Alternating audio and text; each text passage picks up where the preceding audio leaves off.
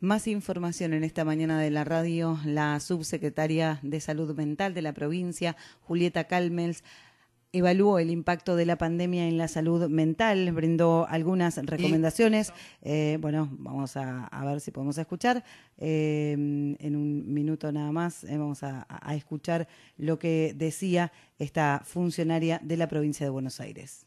La pandemia nos permitió a una escala inimaginable ese descubrimiento social, esa evidencia social, por ahí a través del sufrimiento, ¿no? de la afectación. Eh, si uno pregunta la alteración del sueño, la incertidumbre, la tristeza, la ansiedad, bueno, todos sentimientos que yo diría en general atravesó casi toda la población la pandemia.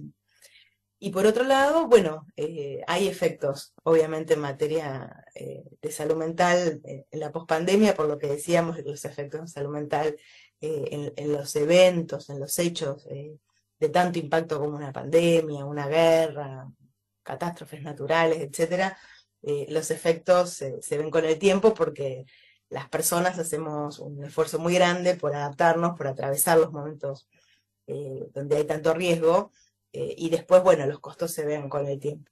Entonces, uno podría decir, bueno, sí, estamos viendo un, aumento de algunas, de algunas situaciones vinculadas a los trastornos del sueño, a la ansiedad, a un sentimiento de soledad, sobre el que hay que trabajar mucho, ¿no? Y que tal vez no, eh, no sea tanto como ponerlo en términos de patología, sino también, y aprovecho, si nos está mirando gente eh, de Trenquelauquen, también a, plantear que, que, bueno, que también tenemos que poner claves más colectivas para entender lo que nos pasa, ¿no? Porque si no, si solo lo traducimos a lo individual y a las patologías, eh, bueno, vamos a sentir que son problemas nuestros, ¿no? Y hay situaciones eh, que tienen que ver con, con, determinantes, con causas sociales, y la pandemia es una gran situación social de determinación de, la vida.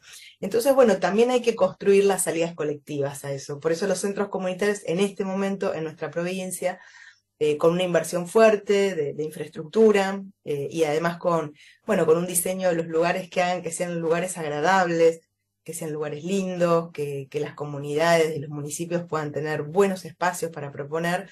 También buscamos que sean espacios de sociabilidad y de encuentro, donde además de atender las problemáticas de salud mental, también la gente pueda reunirse, también pueda celebrar las cosas que le hacen bien y también podamos construir eh, prácticas de salud y de promoción y, de hacer salud, no solamente a través de los profesionales, los medicamentos y los tratamientos, sino también de lo que podemos construir con los otros. ¿no? Por eso eh, la disposición física eh, y, y los espacios colectivos, grupales que proponen estos centros tienen bueno, un, un, aspecto muy pensado que, que, tiene que ver con la concepción de salud y con lo que, bueno, a lo largo del tiempo se ha visto que, que genera mayor eficacia, ¿no? No es una cuestión meramente de, ideología, sino también de, de evidencia, eh, de evidencia clínica, de evidencia epidemiológica. De hecho, eh, hace muy poquito, en, en un viaje eh, del Estado argentino a Ginebra, ha sido mencionada las políticas de salud mental de la provincia de Buenos Aires como parte del modelo eh, de salud con enfoque de derechos y derechos humanos que merece ser destacado en,